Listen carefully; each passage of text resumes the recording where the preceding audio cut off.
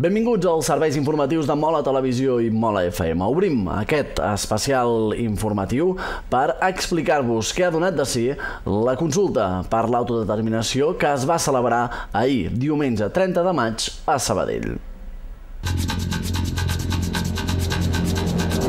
Sabadell es va convertir ahir en la ciutat més gran en nombre d'habitants que va celebrar la consulta per l'autodeterminació.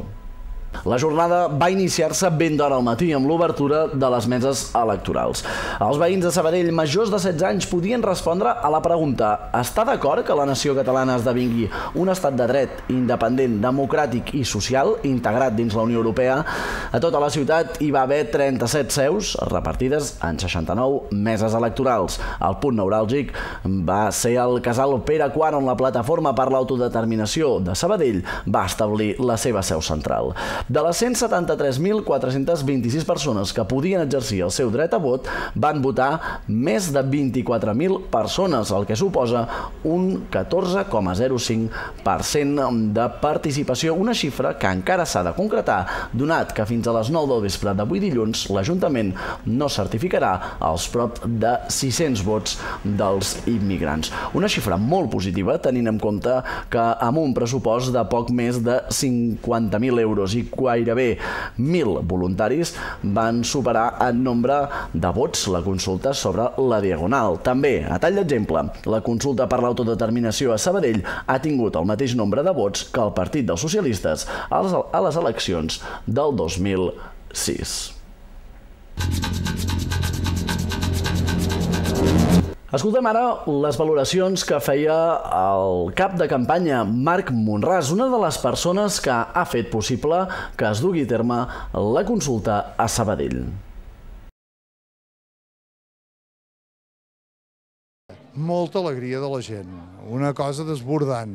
Uh, dones grans plorant, uh, gent, uh, molta gent amb criatures, bueno, totes les escenes, uh, comunitat de gitanos, han vingut en una hora totes les associacions d'immigrants aquí a votar, se'ls ha aplaudit, han estat contents, tot això. Fi, el dia ha sigut un dia de festa i un entrenament pel dia que això pugui ser de veritat. Una muntanya russa. Uh, dies, de, de, dies amb ganes de plegar, dies de gent que et truca i et dic jo no vull continuar perquè estic deprimit, dies d'eufòria, de, dies que les dificultats més grosses, obtenir diners, les dificultats més petites, obtenir l'esforç dels voluntaris, i una altra dificultat és que arriba un punt que de voluntaris ja no en tens més. I en canvi les necessitats d'una població tan gran són extraordinàries. Aquesta és una dificultat de quantitat de gent, de diners, però en canvi desbordant de creativitat. La creativitat de la gent que ha treballat amb mi és una creativitat excepcional, s'inventa tot i de tot es treuen alternatives. Ara, a partir d'ara, què? Doncs tenim dos camins i hem de seguir els dos. Tots dos convergeixen al final. Per un camí la societat civil ha de continuar apretant, per ensenyar als partits que estem disposats a passar-los. Mireu que us estem intentant passar, perquè no us esteu movent, no doneu alternatives ni de benestar ni de res. Per un cantó això, i no parar, ser més tossuts, tossudament alçats, i per altre cantó hem d'esperar que alguna força política o alguna força nova política pugui, pugui eh, animar el nostre Parlament a una vinculant eh, realment amb el poble i amb una manifestació unilateral de possible independència.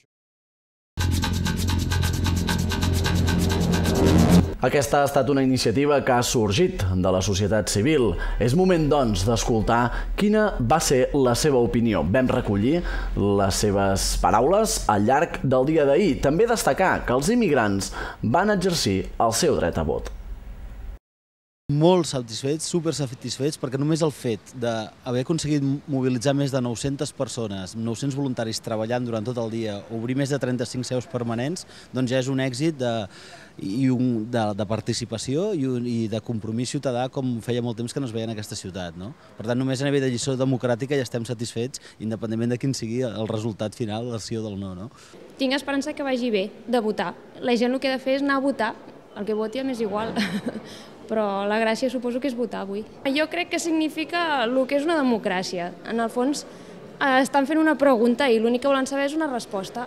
Que la plataforma per l'autodeterminació de Sabadell no quedi amb una mera consulta, sinó que cal continuar mobilitzant, organitzant a la població de Sabadell i a tota la població catalana a l'entorn d'aquest dret a decidir.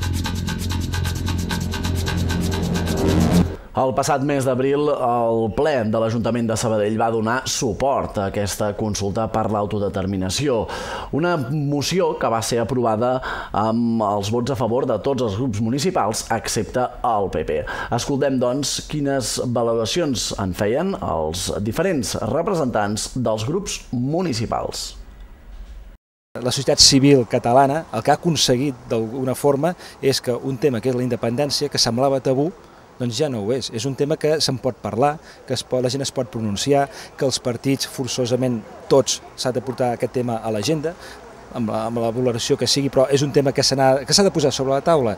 I això, només per haver aconseguit això, jo crec que ja és un èxit total. Lo important és la, la participació, lo important és la quantitat de gent que s'ha mogut a Sabadell per a aquesta consulta. Això ja per si sol té un valor en un moment en el que és tan difícil que la gent doncs, s'engresqui, doncs, que la gent s'animi, que la gent en definitiva tingui ganes de participar en alguna cosa. Jo crec que aquest és un dels valors fonamentals de, de la consulta en general. No? Independentment de la pregunta, el que és important és que la gent tingui el dret a poder participar, a poder decidir, a poder donar l'opinió.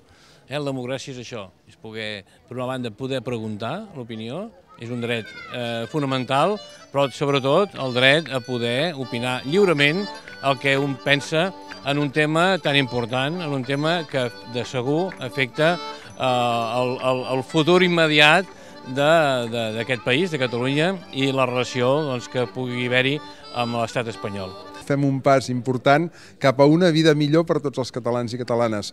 I, i si em permeteu, no només pels catalans i per les catalanes, també pels espanyols, perquè em sembla que si se'ns treuen de sobre viuran també més bé. La disjuntiva és molt clara, la gent que vingui a votar té molt clar que eh, o vota per anar enrere, per tant per la involució, o bé vota per, eh, pel dret a decidir. I això vol dir per donar un cop de puny sobre la taula, per dir prou i situar l'agenda política el dret a decidir per decidir, en definitiva, el nostre futur en pau i en llibertat.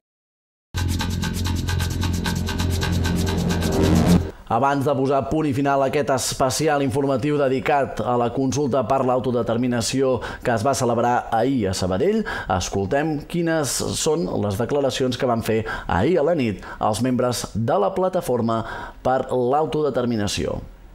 El resultat és d'un 13,08 de participació que suposa que han votat han votat han votat 22.689 sabadellencs censats, immigrants i gent de 16 a 17 anys inclosos. Estem davant d'un resultat de la ciutat de Catalunya que ha votat i que més gent ha votat.